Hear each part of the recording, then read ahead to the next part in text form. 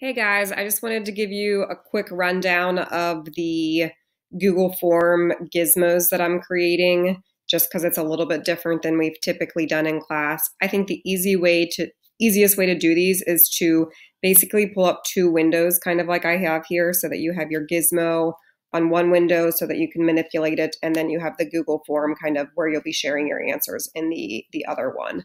Um, as far as the greenhouse effect one, um, just a couple different features that it has. This bar down here are the actual greenhouse gases. So obviously, the higher percentage means the more of those gases that we have in the atmosphere at that time.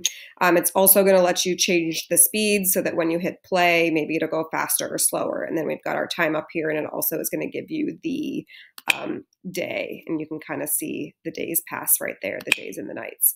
Um, a couple tabs up here that you'll be using are just the table tab. Um, the heat in just means the heat that's like entering our atmosphere. Heat out would be that's leaving because those are two different things. And then that would be how the temperature is changing through time. The bar chart will play with the same type of info. You can see how temperature is going to change throughout the day. And again, you can pause it or see the numerical values. And then the same with the heat flow in and the heat flow that we have leaving our atmosphere.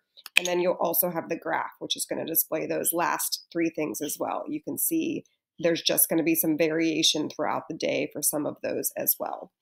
So basically, just do the gizmo like we usually do. I tried to put our instructions here. It's in the exact same order.